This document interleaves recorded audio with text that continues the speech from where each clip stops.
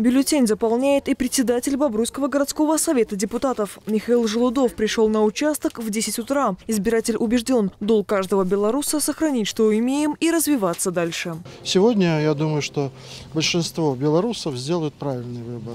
Независимо от того, какие мнения, какие взгляды, мы решаем будущее страны на избирательном участке. Не на улицах, не на площадях. Это происходит непосредственно на каждом избирательном участке. На этом участке 2566 избирателей. Досрочно проголосовали почти половина, 1138 горожан. 14 человек сделали свой выбор впервые. Есть и те, чье чувство гражданского долга заслуживает аплодисментов. Пришла бабушка, которая 100 лет, она решила сама прийти сюда, не голосовать на дому, как бы проявить, отдать свой голос, за кого считает нужным. Здесь для избирателей подготовили зону отдыха. Сразу после голосования можно перекусить. Во дворе детского сада стоит автолавка. Здесь можно приобрести продукцию местных производителей. Пиццу, колбасные изделия, прохладительные напитки. Наценка минимальная. Попробовать угощение можно тут же. От солнца спасает навес. Для удобства – столы и стулья.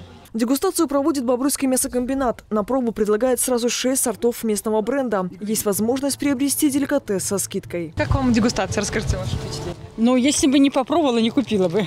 Очень вкусная колбаса. Кирилл Кузьмич среди тех, для кого эта электоральная кампания стала первой. 9 августа 2020-го парень запомнит сразу по двум поводам. Выборы президента и 18-й день рождения. Юноша дает свой голос и принимает поздравления. Сладкие памятные подарки вручает Союз молодежи. Мне кажется, какой-то символ, то есть э, первое голосование, первое, ну, только наступило совершеннолетие, это имеет какое-то значение. Поздравили меня, очень приятно, что все помнят, что сегодня первый голос, день рождения.